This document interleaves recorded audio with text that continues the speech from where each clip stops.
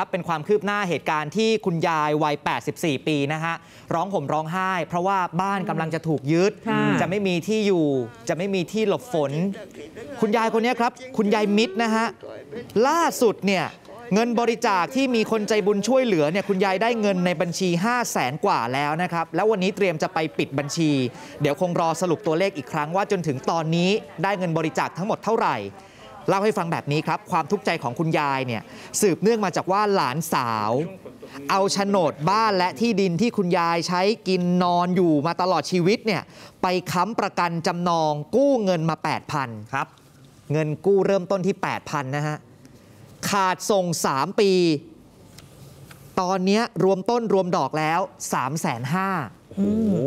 นี่นะฮะเจ้าหนี้เงินกู้นอกระบบก็เลยเร่งรัดว่ายายต้องเอาเงิน3 5 0 0 0เนี่ยมาไถ่โฉนดที่ดินและบ้านคืนนะ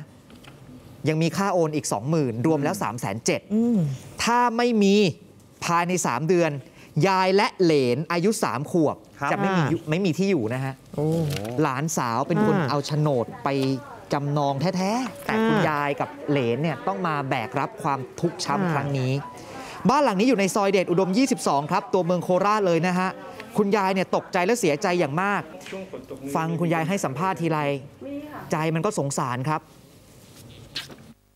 ให้ฉันได้ที่ขึ้นมาเถิดเงินทองมาหาเป็นไก่เป็นของฉันก็ไม่อยากได้เก่าที่ฉันทำไปหรอก คนเป็นหลานที่ทำกับคุณยายแบบนี้ดูข่าวตอนนี้ฟังเสียงคุณยายร้องไห้ให้สัมภาษณ์แบบนี้ คุณรู้สึกอะไรไหมครับดีใจมากรีบกลับมาขอโทษนะ นี่คือคนที่เขาเลี้ยงดูคุณมาแล้วคุณก็มาทำแบบนี้นะ ยังมีเหลนทิ้งให้คุณยายช่วยเลี้ยงอีกเนี่ย ที่ผ่านมาคุณยายจะได้น้ำจิตน้ำใจจากเพื่อนของหลานสาวเนี่ยคอยเดินมาช่วยเหลือนะฮะเอาของมาให้เอาเงินมาให้ เป็นกู้ภัยฮุก31ครับเคยทำงานด้วยกันกับหลานสาวของคุณยายครับตอนเนี้ยก็ตกใจมากว่าโอ้โหมันเกิดเรื่องแบบนี้กับครอบครัวนี้ด้วยเหรือเนี่ยพยายามจะระดมเงินให้ได้มากที่สุด ความใจบุญของคนไทยหลังจากที่มีการรับบริจาคเงินนะฮะล่าสุดเย็นเมื่อวานนี้4ี่โมงครึ่งเงินบริจาคยอดอยู่ที่ 5 3 0 0 0 0 บาท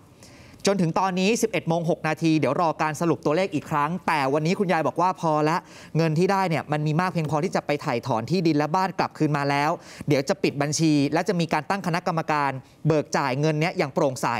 เงินส่วนที่เหลือจะใช้เป็นทุนการศึกษาค่าใช้จ่ายในการดูแลเหลนสามขวบน้องคนเนี้ยฮะตัวเล็กๆเนี่ยครับให้มีอนาคตที่ดีต่อไปฮะ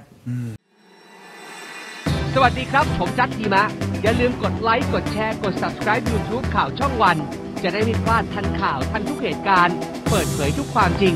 จากทีมข่าวช่องวันเข้าถึงข่าวเข้าถึงคุณ